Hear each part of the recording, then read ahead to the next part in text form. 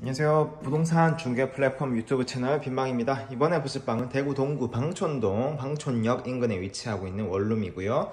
200에 30으로 나온 원룸입니다. 이렇게 현관에 들어서면은 바로 앞에 부엌, 요 싱크대와 가스레인지가 위치해 있고요. 더 안쪽으로 들어가면 공간 분리는 돼 있는데 이제 중문은 없는 이렇게 방이 펼쳐집니다. 이런 식으로 되어 있고요.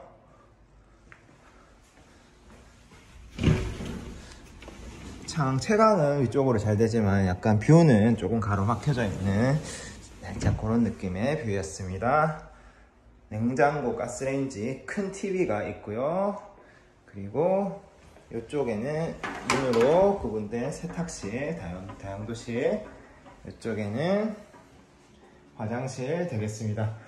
방촌역 인근의 원룸 200에 30이었고요. 더 자세한 정보는 빈방점 co.kr에서 확인하실 수 있습니다. 감사합니다.